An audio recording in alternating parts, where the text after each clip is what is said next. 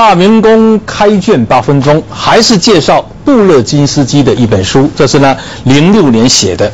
这本书的书名叫做呢《美国的危机跟转机》，它有一个副标题，有点意思，要读一下：从老布什、克林顿到小布什的外交成绩单，看超级强权的未来走向。九零年到零六年，我们知道所有的历史困扰都发生在历史被简化为一场闹剧。那么，尤其是这场闹剧是在为呢政治服务的时候，而这个闹剧的主要的标志，在当代史上，尤其是国际关系史上，就是前苏联的解体。那么，这个主要转捩点，那么么是发生在呢？发生在一九一九九九年九零年，就是柏林墙的解体，前苏联的瓦解。那么，这事情呢，就改变了。当今世界格局的开始，布勒金斯基这本书，我为什么要给大家推荐呢？因为呢，有几个道理。他的老板美国前总统卡特说，没有人比布勒金斯基更了解权力跟原则的相互依赖关系。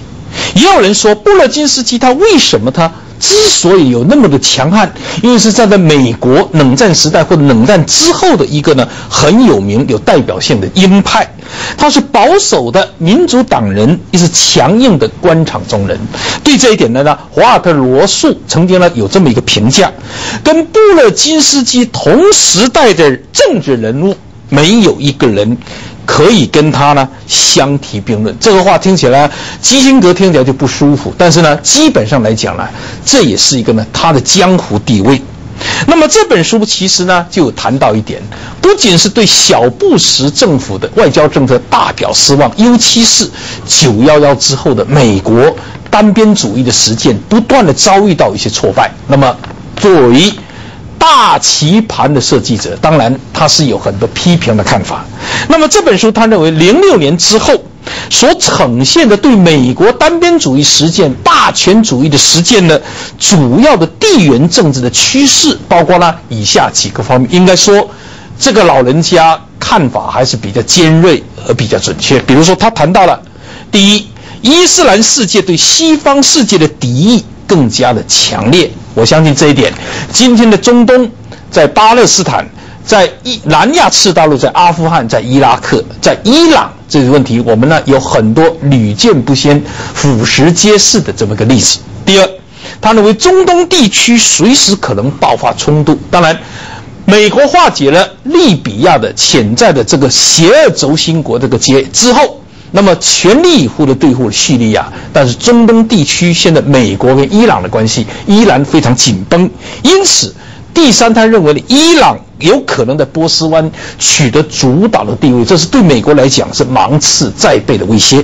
第四，拥有核武器的巴基斯坦局势会更加动荡不安。我们看到了最近穆萨拉夫黯然下台，就知道这个国家果然。正如布勒金斯基所预测的那样，没有办法获得片刻的安宁。我们看到第五，心中感到有点落差、不服气的欧洲。那么这一点呢，不仅是欧盟这个这个主体跟俄罗斯的关系有一些落差，法国、德国在老欧洲有落差，他们这个老欧洲对中国问题的看法跟美国也有明显的一些认知上的差距。第六。愤愤不平的俄罗斯，他终于找到了一个切入点，也就是最近发生在南高加索的格鲁吉亚。不仅是愤愤不平，俄罗斯掌握了。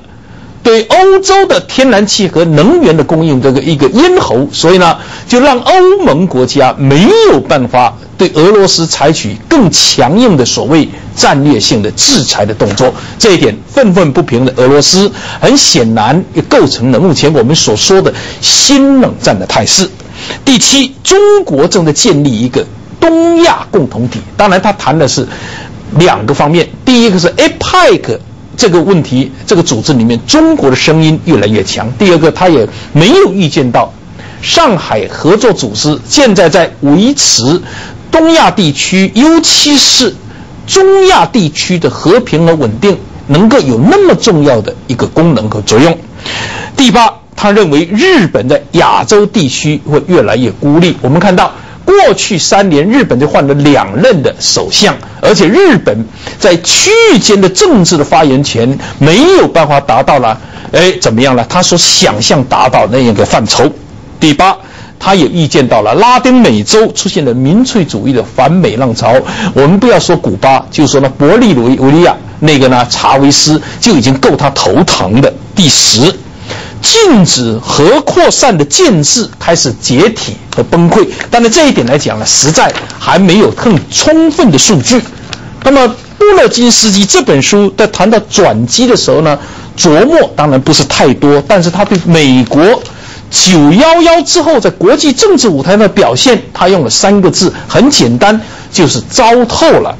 布尔金斯基这三个字呢，实际上呢，对美国小布什政府过去八年来，无论是对内部的政策，那么对国际的反恐这一个趋向。尤其是对大国政治之间的博弈呢，用“糟透了”这三个字呢，我相信小布什政府听了以后呢，心中可能会默认，但表面上当然是不服气。那么美国他认为，由于中国的崛起，由于战略棋盘出现一些新的一些态势的变化，美国正在演变成为一个呢可怕而孤单的民主国家。当然这本书。跟布勒金斯基一以贯之的地缘政治这种战略框架呢，是一脉相承的。但是在美国的政策界和外交界，像布勒金斯基这么资深、这么有洞见的一个呢老谋深算的政治谋略家不是太多。那么在这个过程中呢，大棋盘的思想、大格局的思想、大国政策的思想，他把我们刚才所述的这么多的一个界面。